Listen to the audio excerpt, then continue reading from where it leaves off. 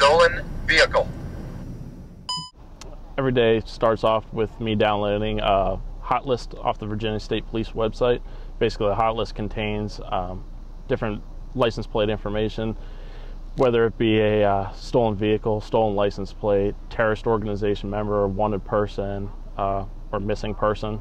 Um, it's updated every day. So I download the current one and start it in my system. Um, it downloads onto a uh, USB thumb drive. Since starting with the system in March, I've recovered 18 stolen vehicles using the system.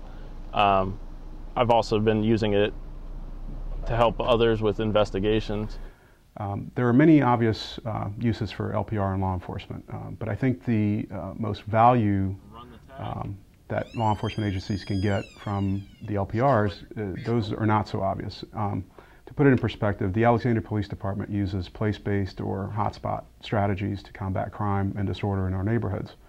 And what we've trained our officers to do is um, obviously to respond to those areas while they're on routine patrol or when they're specifically assigned to those areas um, and use many tools that are available to them.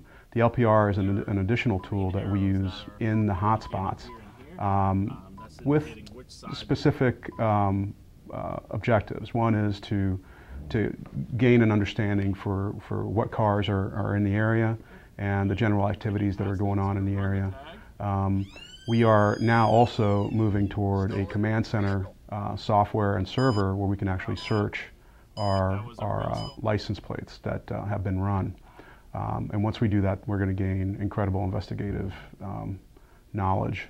What's captured in, in one of our reads is the vehicle uh, tag, the license plate, uh, a black and white and a color picture, uh, and I believe an infrared picture of the tag, and uh, the GPS location of the vehicle.